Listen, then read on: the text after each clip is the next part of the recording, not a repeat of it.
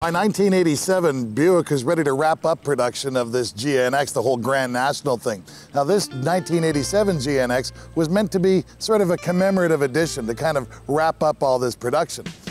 Now, the Grand National was really the only muscle car on the market, the only true muscle car on the market, one that you could do a burnout with, one that did a legitimate 11 something second quarter mile, and one that sort of captured the hearts of all of those guys who were pining for the muscle cars that had been effectively legislated out of business.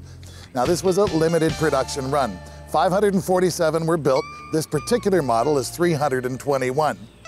Now, Buick would turn out the cars, send them over to ASC McLaren, and ASC McLaren would finish them off. Some rear suspension modifications, and of course, bolting on the turbo and doing all the things that made this a really particularly collectible car. And so, sitting in the showroom at Legendary Motor Car, we took a look at it and just knew that we had to take it out and take it for a drive here on Dream Car Garage. It's not every day you get into one of these modern dream cars and worry about the amount of miles that you're going to put on the car. But this particular one, the 1987, everybody knew this was going to be a collector car long before it ever left the showroom. So we're going to try to treat this rather gingerly and try to put as few miles on it as possible. Right off the bat, this with 816 miles on it, for all intents and purposes, is a brand new car but it's a model year 1987 brand new car.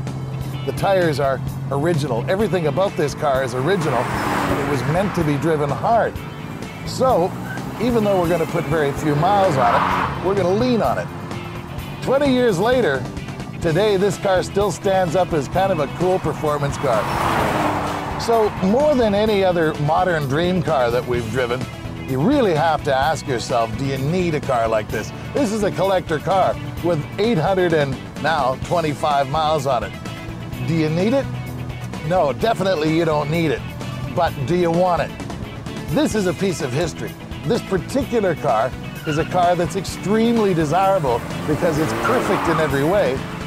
It'll be interesting to know when the next owner of this car comes along exactly what he'll do with it. Will he drive it or will he park it in the garage? Our vote on Dream Car Garage, as always, you gotta drive it. You really have to drive it. Because this car, for a 1987 automobile, is nothing short of spectacular.